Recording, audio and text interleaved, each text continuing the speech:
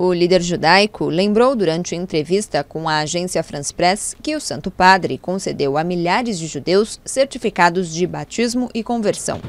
Documentos que, durante o nazismo, podiam significar a diferença entre a vida e a morte.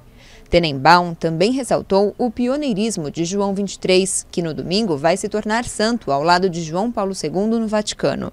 Foi o primeiro que sacou ele foi o primeiro Papa a abordar a questão da morte de Jesus de um jeito bem claro, uma questão delicada entre judeus e católicos. E pela morte de Jesus. É evidente, hoje em dia eu lhe posso dizer com absoluta segurança em minha opinião, com absoluta certeza, nunca houve um Papa melhor para os judeus em toda a história do que João 23. Isso está muito claro. Papa para o povo judeu em toda a história. A Fundação Raul Wallenberg é uma organização internacional que promove os valores de solidariedade e coragem das pessoas que se empenharam contra o Holocausto.